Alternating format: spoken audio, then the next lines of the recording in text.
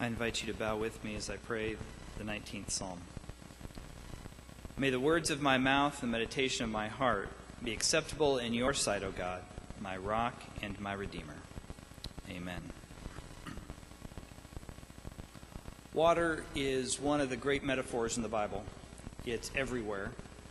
Um, interesting that the primary things that keep us alive are the key metaphors in the Bible breath, air, the Holy Spirit, water, knowing how important it is for water in our lives, what 80, 85% of our bodies is water, and uh, food, uh, the bread of life. They say you can't go longer than three minutes without air, three days without water, or three weeks without food. Those are, those are the foundations of our life, of living itself and in the scriptures, they are woven into beautiful metaphor after beautiful metaphor. We're exploring the water metaphor during Lent for the next several weeks with hydrate, renewal by water, and the Spirit. And today I want to read about the wedding at Cana in the Gospel of John.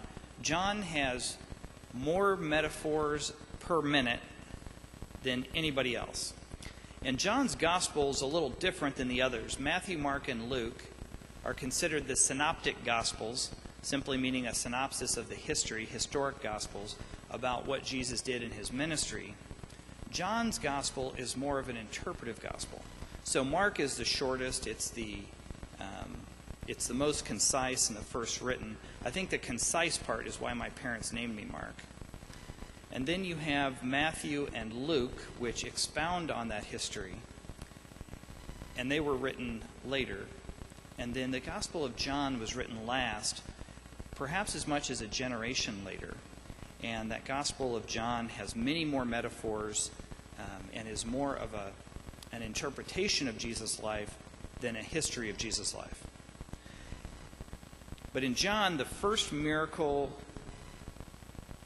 well, I'll give you an example. You didn't ask for one, but you said, really? I'll say, I'll give you an example. So in Matthew and Luke, there's a strong history of the birth narratives of Jesus.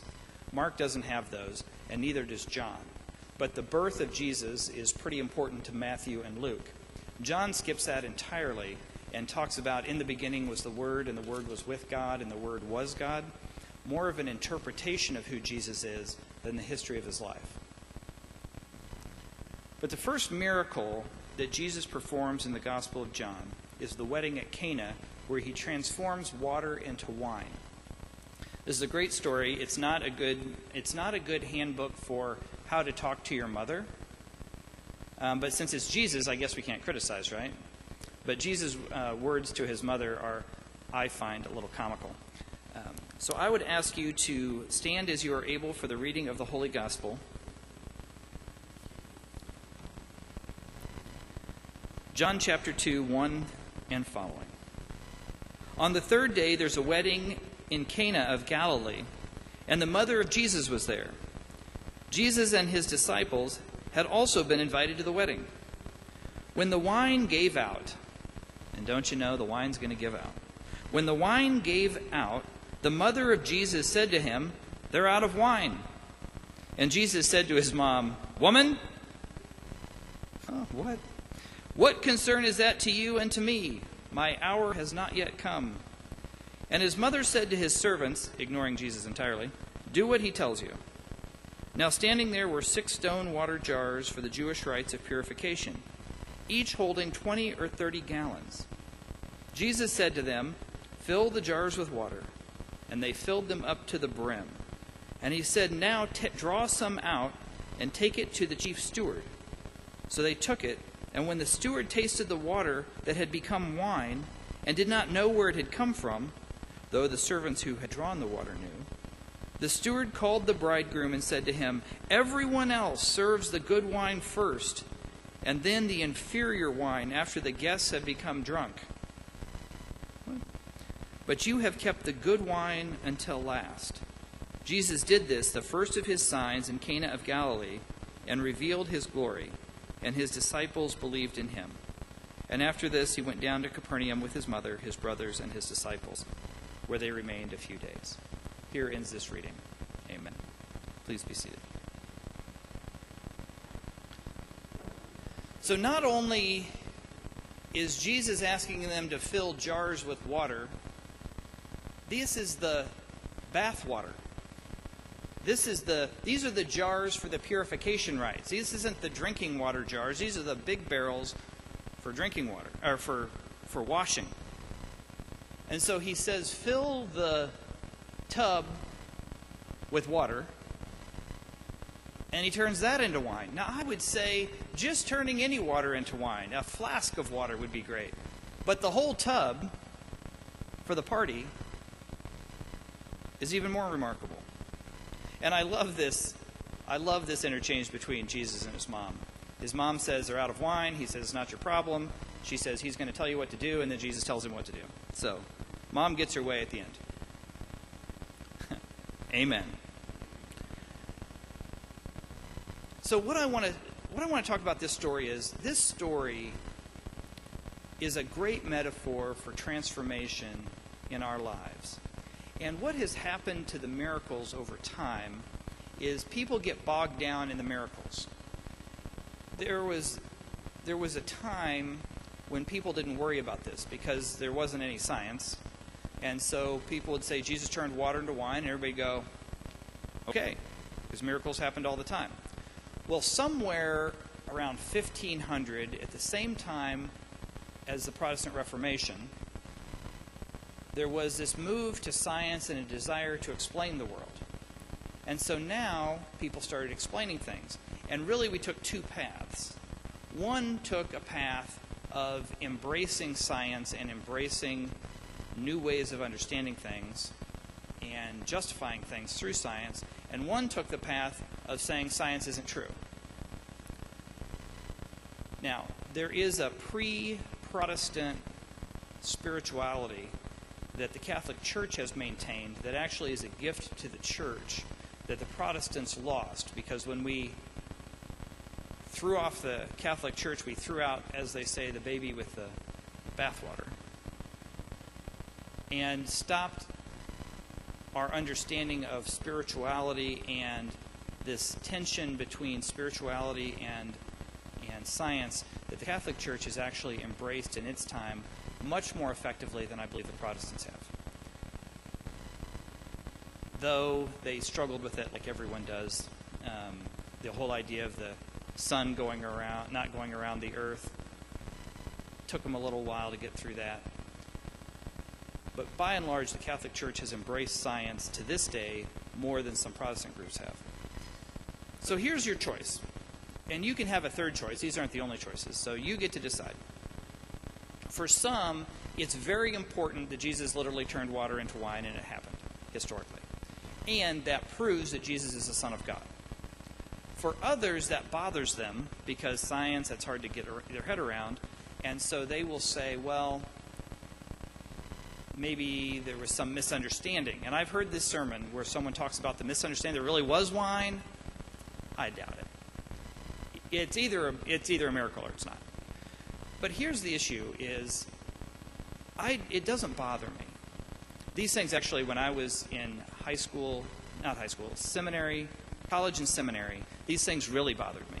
So I had to figure out what do you do with the miracles because for one group it proves Jesus is Lord, and for another group it says, well, the Bible doesn't make any sense because it's saying stuff that's not possible, right? So people were throwing out the Bible and saying it can't be true because Jesus' miracles aren't true. Another group saying, well, science isn't true. What? So here's my here's what I've come to. And this is my great truth revealed for the sermon. I'm putting it in the middle of the sermon. I'm revealing the great truth. I'm not saving it to the end. The great truth is I don't know.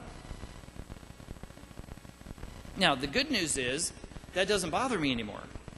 There was a time that it really bothered me not to know and saying, I don't know. But what I've realized as I'm getting older is what I don't know is so much more abundant than what I do know. I should get more comfortable with it. Yes? I don't know. But what I do think is while we're trying to decide whether or not the wine, water turned into wine, we're missing the opportunity to see Jesus transforming grace in our lives. And it, when, when the story becomes a distraction one way or another, and there's distractions out there. I mean, we got people still looking for the Ark of Noah. And God bless them, I hope they find it. But they're out there digging everywhere. They're going to find that Ark. Nah, I doubt it. But good for them. But they want to prove that it's true, that if they can have some archaeological evidence to show the miracles, the miracle of God, in my mind, need not be proven scientifically in order to be true. And the miracle here is Jesus is about to embark on a ministry of transformation, and the water into wine was just the beginning. And I'll say this too I want to, I want to speak up on behalf of metaphors. Metaphorical truth is more important than historical truth. Let me say it again. Metaphorical truth is more important than historical truth. And I'll give the example of the prodigal son. This is my favorite one. Prodigal son, he's kind of a deadbeat. He leaves, he takes half his dad's money, which is a miracle that his dad gave him half his money. He wastes it all, and he comes back, and his dad welcomes him. Did that actually happen? Who cares? What really happened is the image of the metaphor of God loving us and welcoming us back anytime. It's possible that that really happened and that there was a really great dad who was an, a metaphor then for God. But the metaphor about God loving us is so much more important than whether or not that, then maybe Jesus just made that story up to make an illustration. Now, I know that might upset some people, but maybe, I don't know. So again, I say, I don't know. But this story of the water into wine is so powerful, I just want to put the science aside first and just dive in, if you will, into the power of this. Jesus has a way of making the ordinary extraordinary. And that miracle is true.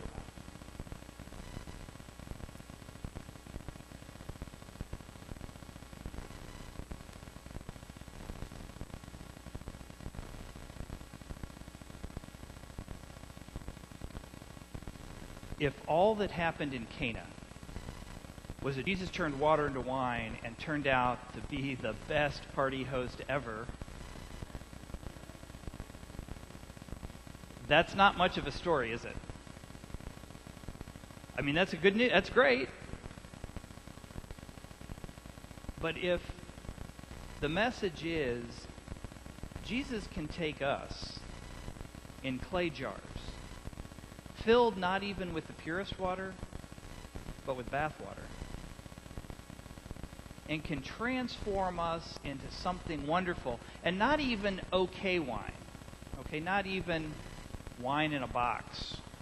Okay, we're not talking about box wine here. We're talking about the best wine. And the steward was overwhelmed. I'm sorry, am I insulting people with box wine? We have a joke in our family because my aunt believes wine only belongs in a box. But anyway, it's a whole other story. But the steward is so amazed, he goes to the bridegroom and says, I can't believe this. Everybody else puts the good wine first, and then after everybody's drunk, I guess that happened back then too. After everybody's drunk, then you bring out the bad wine and finish them off. Right? But you've saved the very best for last. This was better than the wine we had before. And it came out of the tub. The miracle of this is that Jesus takes our lives, and even in the midst of tragedy that we all experience, in the midst of loss, in the midst of brokenness, in the midst of doing really dumb things that we're all capable of doing, God still takes that and transforms it into the best than even what it was before. And it is true, isn't it, that the wisdom we earn, because you don't get wisdom for free. Amen?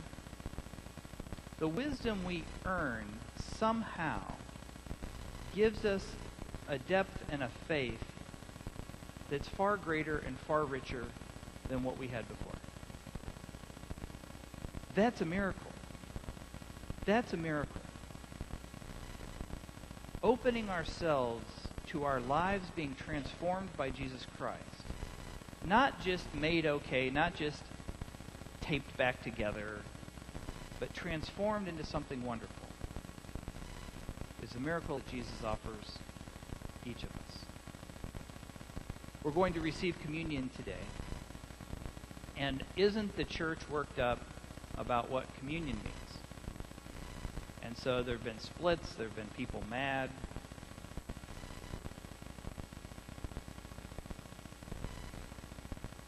When you receive communion today, I believe it is less about what happens to the water or the wine and the bread, and more what happens to us when we receive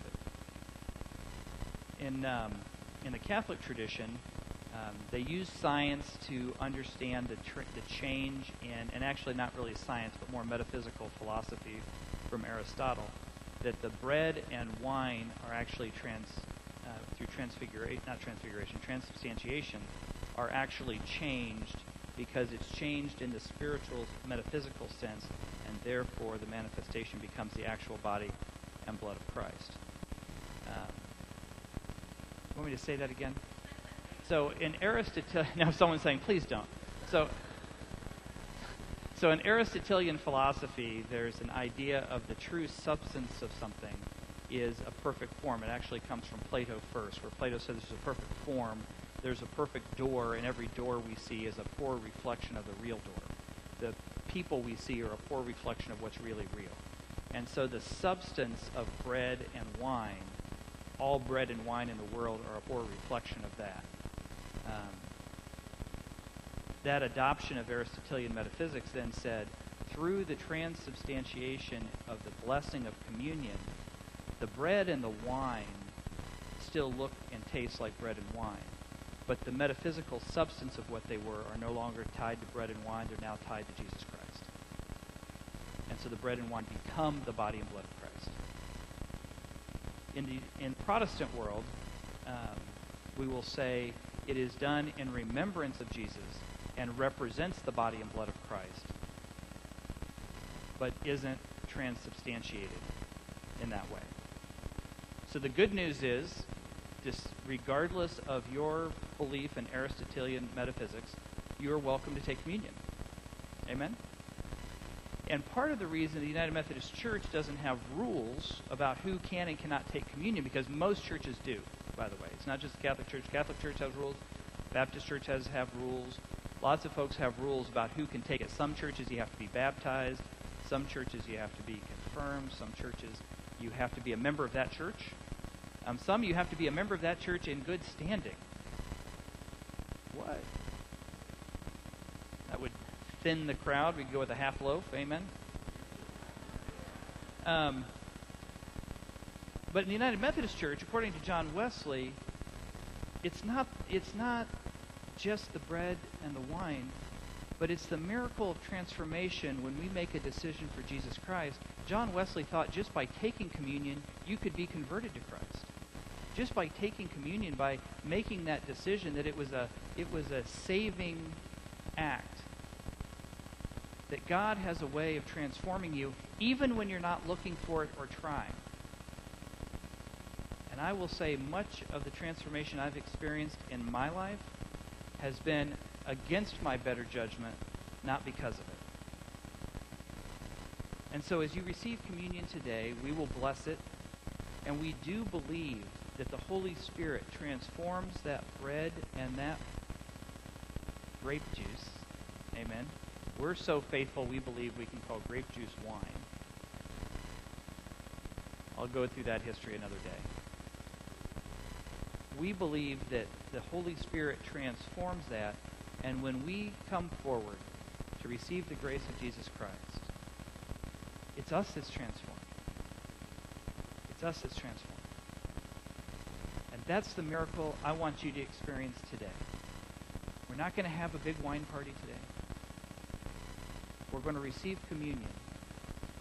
And the invitation to transformation is the one that Jesus made at the wedding at Cana. The first miracle he performed in the Gospel of John. And only in John did he perform this miracle.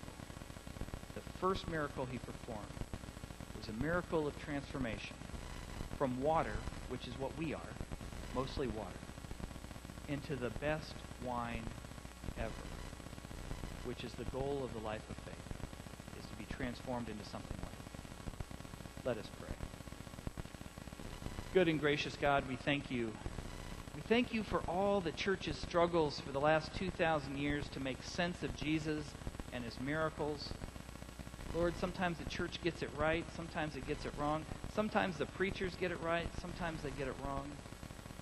But despite all of that, your miracle of transformation at the wedding of Cana continues to speak to us today and continues to offer the invitation to transformation in Jesus Christ. Lord, as we receive the bread and wine today, we ask that we might be transformed, just as Jesus transformed the wine. We ask this in his holy name. Amen. Let's prepare our hearts and minds for.